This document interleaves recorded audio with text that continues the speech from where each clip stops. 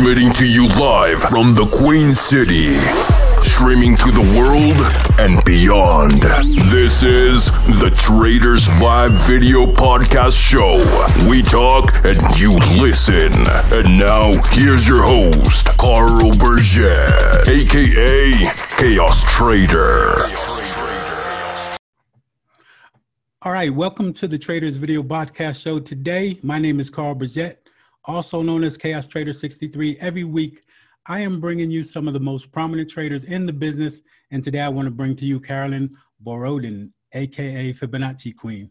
Carolyn is a commodities trading advisor who started her trading career on the floors of the CME. Carolyn is a top-notch technical analyst who specializes in advanced Fibonacci trading, trading strategy in addition, she has her own book entitled Fibonacci Trading How to Master the Time and Price Advantage. She's also a frequent guest on Jim Cramer's Off the Chart segment on Mad Money. She focuses on the ratios derived from the Fibonacci number series, and she applies these ratios on both the price and time axis of the market to identify trade setups. Carolyn, first, I want to welcome you and thank you for being a guest on the show today. Well, thank you for having me. I appreciate you coming here. Um, I know you got a busy schedule, so we want to let people understand who you are and what you do. Um, I know a lot of people probably already know about you, but I know a lot of people sometimes are a little bit, um, especially newer traders, don't really understand much about Fibonacci. So we're going to get into that. But before we do that, just give us a back a, a brief history of who you are, how you got started, and everything. Okay, well, I mean, I told you that I was going to tell you the truth, and it's uh, actually it's kind of a funny story because I basically ran away from home and quit high school and got a job on Wall Street. So uh, none of this was planned. I had, you know, I, I, had no idea that I would be involved in this business. But I had uh, my cousin call me up when I was working on Long Island, uh, and I was working two jobs. So she says, "Hey, you know, you want to come and interview for this job in New York? You can work in this trading room, and then you'll make just as much money with the one job that you're making with the two. And I said, okay. And that was it. You know, I, I ended up going to Donaldson Lufkin Jenrette, um, 140 Broadway, and got interviewed. The guy was ready to uh, let me walk out, but I told him that I had another job that started the next week, was which was the truth, and he gave me the job. And that was the beginning of my career, you know, in this business. Wow, that's pretty interesting. pretty yeah. different though. I mean, because um, it's like nowadays it's really even harder to get into what you just talked about. But you got pretty blessed to be able to get into it the way you did. So yeah. How did you really get focused on um on, on what you do now, you, as far as your strategy? How did how did you get to that point? Okay, well, that actually took quite some time because um, so I worked in New York, and they moved me to the uh, trading floor in Chicago. So I worked on the um, on the CME out there. And I was, you know, basically a phone clerk and then a floor manager. But I didn't start what I do now until I guess it was about after the, it was just a little bit after the crash of 87. Okay. okay so after that, um, you know, the job that I had, that, that shut down. And I met my mentor, Robert Miner, at a conference. And I sat there and I looked at what he did, and it was kind of like the light bulb went on over my head. And um, I went and I talked to him after the seminar because I thought that the timing work that he talked about was uh, fascinating. We got together and I became his student basically the next day. And I went through, you know, his Gann course and learned everything that I could. And uh, next thing you know, people are offering me money for my work. right, right. So you were interested in what he was teaching as far as like um, basically what was he teaching? The Fibonacci and time also? It, it was um, time and price. Okay, time and, and price. you know, I, I had always heard about the fact that you can use Fibonacci on the price axis of the market, but I never knew how you could use it on the time axis, and that's what was fascinating, because I actually went to my, which I had paper charts at that time in my life, but I, I took those and I would mark off, you know, key highs and lows, and I would run the ratios from then and, and look for, you know, when I would get a cluster of, of timing projections, and then typically I'd see a change in trend. I mean, not 100% of the time, but but often enough that you wanted to pay attention to it. Right, right. So that's pretty interesting. I mean, um, the time thing is almost like almost like with Gann you're talking about too, kind of like that, right? Well, they they do it a little bit different sometimes in Gann because there's they'll do timing um, with numbers rather than ratios, and I only use the ratios. Okay, I see. Yeah, so the ratio is based a little bit different than using the numbers as far as like days and stuff. Yeah. Okay, so also basically, um, what what um, markets do you trade? Um, well, I'm doing the uh, like stock index futures and and also quite a few stocks. So I'm doing like the main stocks would be Apple, Amazon, Facebook, Google, uh, Microsoft, Netflix, Nvidia, Tesla, um, and then I'll do you know some extra stocks beyond that. But I'll basically look at um, you know besides my regular list, I'll look at some extra stocks.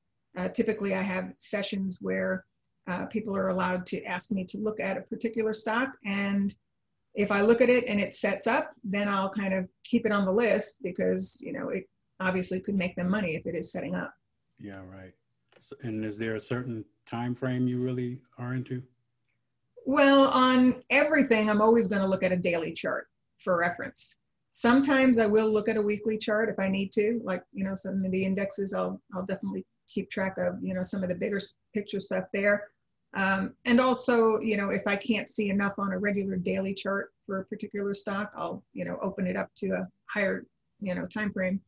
Uh, but then after that, I go down to, let's see, 120 minute charts, which work extremely well in the indexes. And then 30 minute charts, sometimes a 15. It just depends on, you know, what I would need for that particular day, because sometimes a chart will set up on the 30 minute and sometimes you can only see it on you know the, the 15 minute so i'll have to kind of switch back and forth right right so um, i know like with fibonacci's and all what you're doing basically but then so managing managing risk okay how do you how do you control your risk with with the strategy that you're using okay well um, i kind of use this phrase it's uh, setup plus trigger equals trade entry and then you manage it so a setup i'll show you an example of that when you know when i show my charts um, you know, it's, it's basically either, you know, a Fibonacci cluster or a, uh, a symmetry setup or a two-step pattern setup. Those are the only three setups that I use, you know, all day long. So I'll look for one of those. Now, if the zone is tested and it then holds, I have them look at a lower time frame chart for a trigger. You know, the trigger is pretty simple. It's, you know, mostly a moving average crossover on the lower time frame chart. But then as far as management, you have to deal with two things. Um, you have to deal with where your initial stop's going to be. You always want to define your risk, okay? And this work is very good for defining risk. Um, but yeah, your your initial stop, for example, can go either underneath the low made prior to your buy trigger, or it can go underneath the low end of the uh, support zone. You know, if you're looking at the buy side. Then what you have to look at is how am I going to exit the trade? And typically, you know, I have targets of 1272, 1618, and 2618 for trade setups. But I think what you also want to do, you know, is not necessarily just sell because it gets to a target, but I just want you to have a tighter trailing stop because a lot of times we'll make meet the target and then go way beyond. So, okay. for example, like in Tesla, I mean, we've gone way beyond the targets that that I was looking for, and if I would have gotten out at 1272, I'd be pissed. you know. Yeah, getting that extra money. So that's what a good yeah. thing for you. But I had a, a case today where um, I'm talking to a lot of probably newer traders. Really, um, we were talking in the chat room, and they saw some big moves happening with some of the pound pairs and so forth. So I'm trying to let these guys know about the mental part of trading. And you see a move, and you're you're committed to to that move instead of being committed to your strategy and to everything else because they don't see the bigger picture. So it's a lot of a lot of mental games with trading. So can you kind of talk about that a little bit, real quick? Yeah. Well, one of the ways that I help people to not, you know, get too emotional is I force them to write up a trading plan. Okay, and the trading plan is basically, you know, what what setups you're going to take, um, what trigger are you going to use? You know, you might use a different moving average crossover than I do or something like that. Um, and then have it written down, you know, are you going to exit half your position at 1272 extension and then trail the stop on the balance or, or what? You have to make those decisions and then just follow through with it. And also, you know, part of the plan is if it doesn't hold the zone, get out. Yeah. You know, because then it's a bust. See, all that's really like for us, it's easy to say, but these traders now they they have a plan, have the everything they need to do, but when they see something happening, they just want to jump into it. So that's where you get yeah, a lot. Of, that's dangerous. Losers. Yeah. So I know I want to. Uh, people probably want to see and understand more about what you do. So let's just go to your charts. Okay, let me get the screen share ready. Okay, so this should be screen number five. Okay, so you should probably be able to see uh, the charts here. This is actually the example in, um, in Tesla. Okay, this is a daily chart in Tesla. And what we had here was, you know, one of my setups, which was a Fibonacci price cluster, which means that um, it has the coincidence of at least three Fibonacci price relationships come together within a relatively tight range. And that basically defines your risk. So this came in at the 1338 to 1366 area. You know, the zone was tested, the zone held. It triggered entries against it with, you know, the lower time frame charts, like either a 15 minute or a 30 minute for a swing trade entry. And, you know, and then obviously we saw, like I said, we saw way more than than I expected. I mean, I was happy when we got the 1272 target on this on this one. And you, you ended up getting the 1618 and then you're actually getting close to target number three here. But to give you an example of you know what you would do now because you know this was a trade that started a few weeks ago but we're still also looking at the 30 minute charts. Now to give you an example of uh, one of the shorter term setups this is where i'm just using what i like to call symmetry Symmetry is similarity or equality when comparing swings in the same direction. So basically I'm taking these prior swings and then projecting them from any new high to try and help me get back in in the direction of the trend. So since this is, you know, this is a bullish chart, pattern of higher highs and higher lows, I want to run the projections from any new high for the next buy. So in this case, we did end up having a pullback directly into this support decision which included the symmetry. And sadly, it didn't make the target because my target was going to be the 1272 extension of the swing into the zone. Okay, that came in at 2337. So that's one of the reasons why I always tell people we don't always meet our targets. So you do have to trail up stops as you as you go. So this one, obviously, you would have been stopped out if you used a relatively tight stop. But even though this looks like nothing, this is a rally of 175 bucks in two in two days. Right. Yeah. Off a of Tesla. Okay. And then I have another one that we're going to look at um, next week, for example. So I've got to set it up again on the buy side until it doesn't work anymore. And right now it's still working. I mean, one day it's going to blow through all of this and people will get stopped out. But right now, um, my next decisions are going to come in. Actually, I'm going to break this down a little bit. Uh, 2174 to 86 is your first support decision, and we're testing it. So if it continues to hold above here, we're going to look for a move towards that 1272 extension. So that's one area, and you would define risk underneath that. Um, another area that comes in is 2156.66 and then 2117 to 2118. So basically, if it tests and holds a decision, we go down to a lower time frame chart. Um, a lot of times we're you know, looking at uh, one minute and two minute chart triggers uh, for entries against the intraday work. Okay. Now, let's see. Let's, I mean, I can find you another example that, and this is something that you may want to look at, um, you know, in this next week or so. So this is a daily chart of Netflix. Now, my original setup on the daily chart came in down here. And I had a cluster of looks like for at least four price relationships between 462.65 to 466.45. Okay. You know, it tested and held once, it retested and held again. We finally got a move. And what I have to say about this is that the potential is still higher because off of the swing into the August lows, my initial upside target is 604.97. So since we're not up there, what I want to do is watch this next pullback. What I like about this chart is that price is above the 200 simple moving average, it's above the 50, and the 513 um, EMA combo that I use is in a buy mode. And you do have a new pattern of higher highs and higher lows. So the areas that I want to look at for new buy entries, um, I'll, I'll look at 515.92, but an area that really stands out to me is 504.77 to 510.36. And this comes in again from a lot of these prior uh, declines over on the left-hand side of the chart projected from the new high. And then there is also, I believe, a 618 retracement of this low to high. So I like when symmetry overlaps a 618 retracement. That's actually a, a very good setup.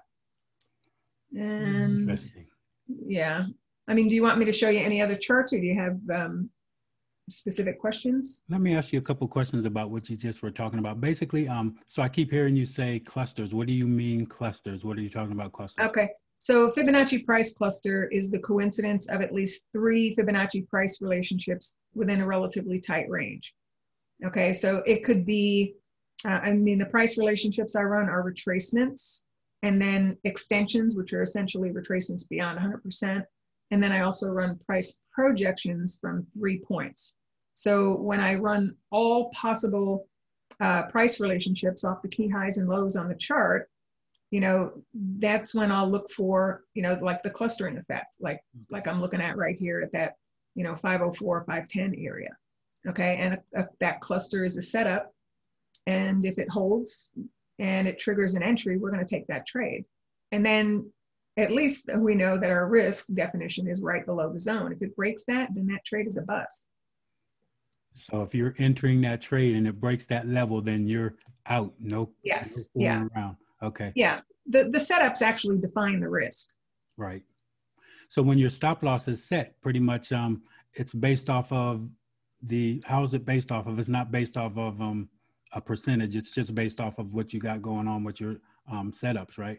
Well, you could do it a different way if you like, but what I like to do is so let's say, for example, we trade down into this area okay. And then you know the market stabilizes and then on a 15 minute chart it triggers a buy entry. Okay. Well then you have the choice to either have the stop underneath the low made before the buy triggered off okay or underneath the low end of the zone which in this case would be 504.77 either way is acceptable you know for me. I mean that's the way i've written up the plan.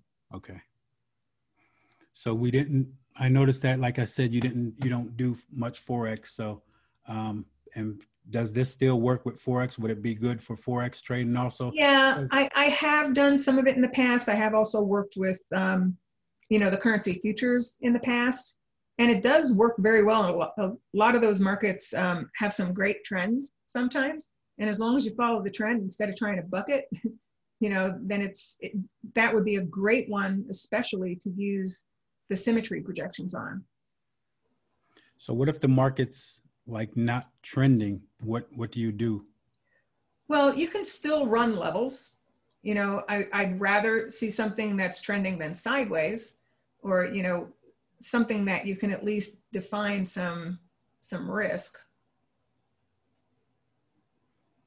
So you can always look at a market and and if it's not trending on the daily, it might look more of a trend on the hourly per se. So would you be yeah. able to project like that? Yeah, you can absolutely go to the lower time frame charts, and uh, you know there are some people that are even using this like on a five minute chart and taking five minute um, symmetry setups and that type of thing. Okay, so like on a typical day, what do you? What? How's your typical day? Do you when you get up? What do you basically do? You start looking right at the charts or is there some kind of routine or whatever you do how do you yeah do you well i do make myself a cup of tea because my voice is really bad in the morning but typically I go to, um, I'll start by looking at the indexes and where we're at there. And I mean, here's like an example of um, the pullback that we had set up in the S&P futures today via the 120 minute chart. So this again is all about the symmetry. And what I did was I took all these prior swings, you know, within the larger uptrend and I projected them from this high and there were a couple of areas that stood out. And one of them was here, you know, where it hit and held this support. And then if you went to a lower time frame chart, like actually my futures traders, some of them are using a 377 tick chart to trigger an entry. And once it triggers, again, you can have a stop underneath this low. And then you want to trail it up as you go. But the potential upside target is the 1272 extension at 3517. And then there's a the second target would be the 1618 at 3527. Okay. So can you show us something like um, something that that didn't work out for you and explain to us what the, what you think the issues may have been or why it didn't work out? Well, I usually don't keep those lines on the chart, but I will show you um, something that didn't because we had to take this from one decision to the next after we had tested that support um, on the 120 minute chart. I also had to look at the resistance and what could get in the way on the way up.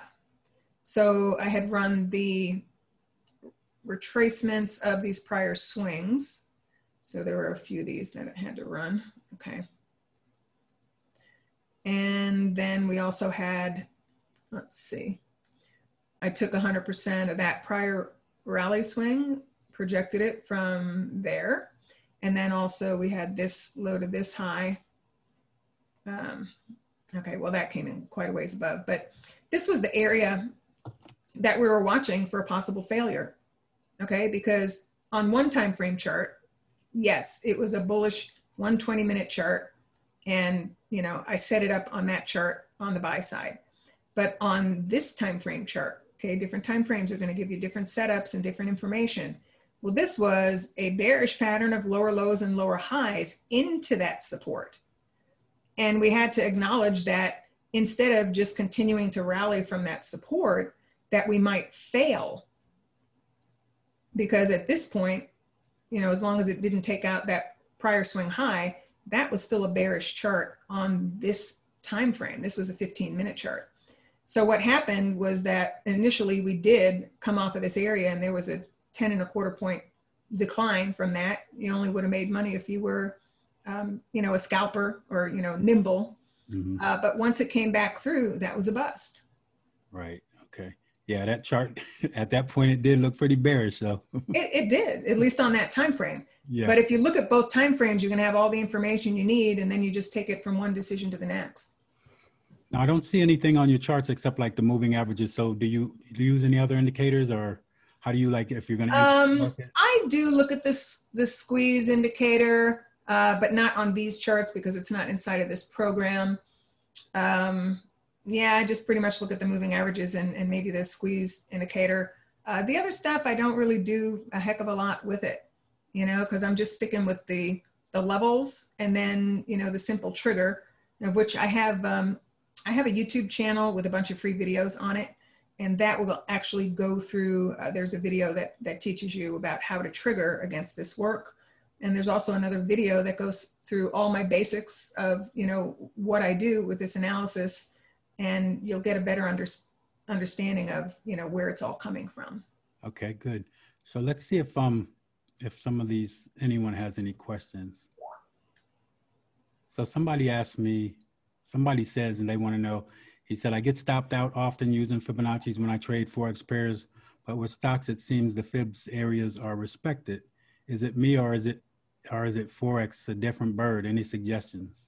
You know, I, I haven't looked at too much of it recently, but I, I would have to look at, well, first of all, what time frame are you talking about? Because I have noticed that the really small time frames are not really great to work with um, unless you are dealing with the um, currency futures. But the Forex data is kind of a different animal. So I would stick with, you know, maybe a 60 or 120 minute chart or, or daily chart for my decisions.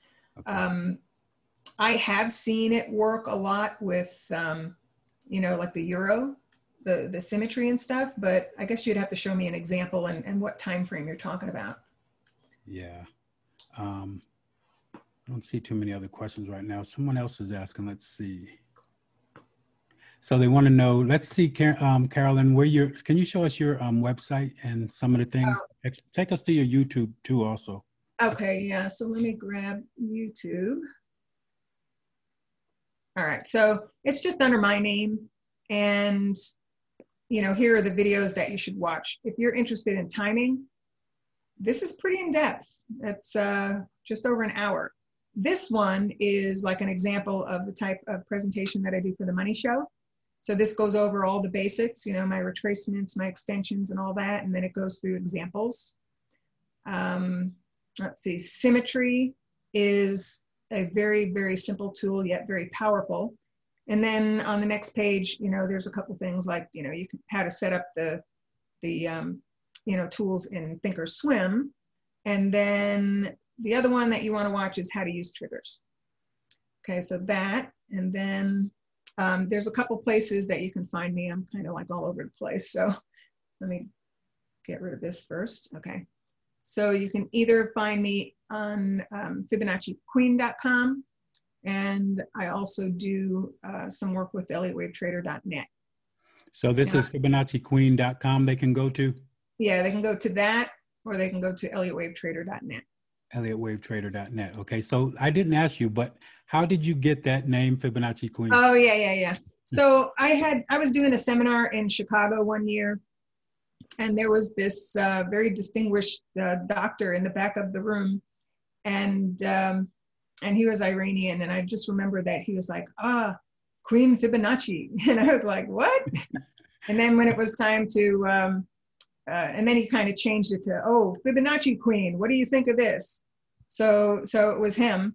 And, um, and then when it was time to, uh, you know, set up a, a website, everyone was like, oh, you know, what should we name it instead of such and such? And I was like, well, I said Fibonacci Queen, but I think it's a little too obnoxious. And they're like, no, no, it's catchy. yeah, I like it. So yeah, yeah. Let me see. There's a couple more questions. Let's see if there's any how do you feel about trading uh, fibs with uh, cryptocurrencies? Um, I haven't done much with that. I, I can show you a chart though. Let's see. It's not this group of charts. It gets under here. Okay, so I have started watching the um, the Bitcoin futures. I know that a while back I did some work, um, you know, on this chart, but it's just a continuous chart. I don't have the other kind of um, data. But in this example, um, you're clearly above the 200 simple, you're above the 50, the five, well, no, the five and 13 actually crossed to the downside. But the general pattern is bullish. So what we want to do here is, again, take all of these prior uh, declines within the uptrend and then project them from the recent high to look for the next possible support. Now there might even be an additional level here. I haven't updated. Yep, there's another 100% projection right there.